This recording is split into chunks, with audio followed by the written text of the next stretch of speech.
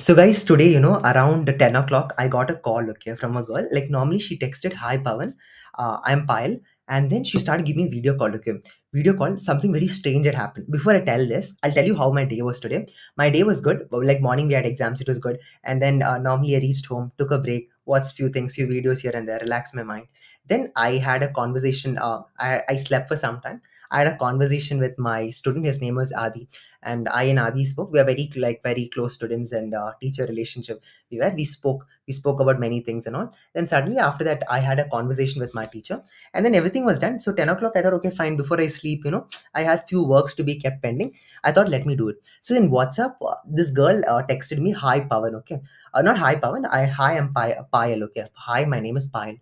So when she texted hi uh, Payal, I was like, okay, fine. Why? Because normally all my students text in that case. Okay, hi, I asked and in basic formality I, I was just asking and this girl was giving me constant video calls which i rejected normally. I don't pick up the calls oftenly. Like most of my students know i don't pick up the call but it was constant video call.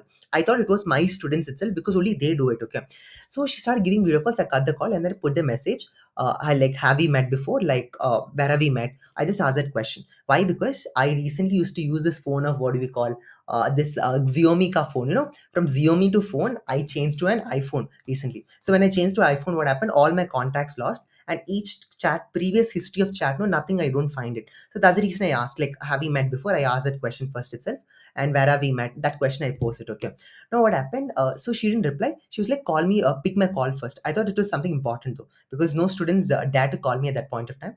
Uh, it was around 10:30 or something. Only people who know me, they I have given them the liberty, but not the new person. So constantly, I thought, okay, something very important might have happened because it was again and again. I picked up the call, and this girl suddenly she came. She started looking at me in a different way. Okay, I was like, okay, fine. He's going to tell something. I, I thought we have, we might have met because I thought it was only a student.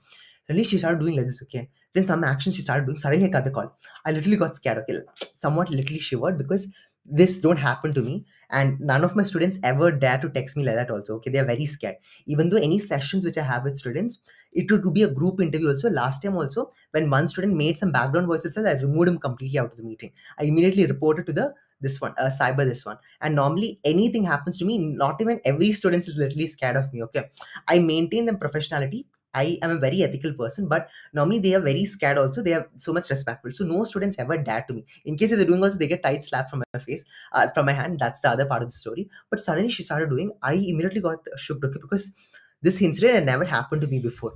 And then I was like, okay, fine, what what can I do?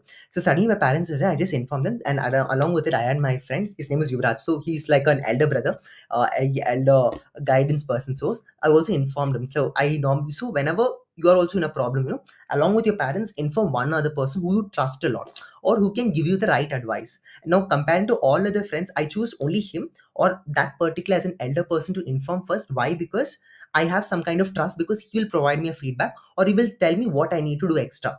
So uh, I inform. So my parents is also fine, fine, just immediately report and block. And I also put a reply back and I also inform Yuvraj. So Yuvraj was like, uh, bro, Pawan, don't worry. It's fine. Uh, it might be a prank call by someone who you know, or it could be with someone unknown person also. But be careful. Immediately try to put a message and try to block it. Finish the story by now. And then I send a reply. Okay, I'll show you the reply what I did. It's like your call has been reported to the police station. I, I messaged her. I'm not showing her name and all number though. I reported and blocked. Your call, see, this is the call which I got. Okay. Your call has been reported to the police station. Don't you dare to call again. It is being reported to the Cyber Security Authority of India. Your video call has been reported. Kindly face the legal consequences in the court of law under IT rules. IT, IT means what? Information technology rules. In that they have certain kind of rules and regulation. Regulations violation of the infringement of privacy under the law. So I was like, how dare you? I send this to Yuvraj also. How dare you ever text a lawyer like that? So it's normal thing. Okay. So I'm not a BBA student. I'm not a BCom student. I'm a law student. So you should never mess up with a law student. That's the first important message. Second important message is that see guys, when such situation happen to you, even in your college life, you will get such kind of prank calls. You will get such kind of calls. Sometimes it could be even threats. So I am a person, even me, even little more try to be socialist. So I also get such kind of messages, but normally I try to avoid it. But such as a college student, you will get such kind of message. Don't fall into trap. Never fall into trap. Inform the people. I inform to my parents. I inform to someone who's very much elder to me. Two people's advice I took. Two people's suggestion I took. Rather than me taking some kind of stupid decision, or me I could have been talking to her, or I could have been taken advantage of that moment. But I immediately reported because there are many instances there, or these these girls itself you know. For example uh, they normally we tell that boys are very bad boys are very i'm not telling that boys and girls are very bad. No problems faced by girls are also one side problems faced by boys are also one side. So even the boys also face such kind of problems you should understand that boys many of the boys will go into depression because of that. Because sometimes they will take that photo they will take your photo and they'll tell that okay he, this person has done so and so things for me. They might uh, in photoshop they might edit your picture with something else. He has uh, spoken so and so thing to me. He, they will send it to entirely viral towards the social media. And you will be held liable. You literally will be held liable. Never never never such never take an never make another person to take an advantage. Report it immediately at right moment. I immediately reported this case. Immediately i reported this case. I knew what to be done. In case if you are also facing it immediately report it take strict actions. There itself at the initial stage if you don't know neither no person will take advantage of you. This is a message for all the boys regardless of you are from whichever domain it is. I'm grateful that this problem had happened to me because i could because of me you could get a message out of it. Okay never allow a person to take advantage of you at any point of time. Any contact you're getting in your college life that when you're when such kind of people are misbehaving immediately report take some strict actions it's fine. So no person can take advantage.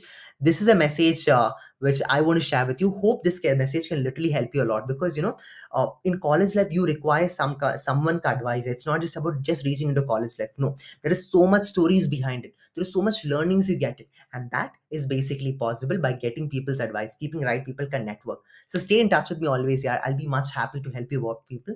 And even reach out to me in any kind of platforms. I'll be much happy to help you. So that's all. Wishing you all the best. Good luck transform this youth of country into a very much positive and sustaining manner. That's all. Wish you all the best. Good luck. Jai hind. Jai bharat guys. Take care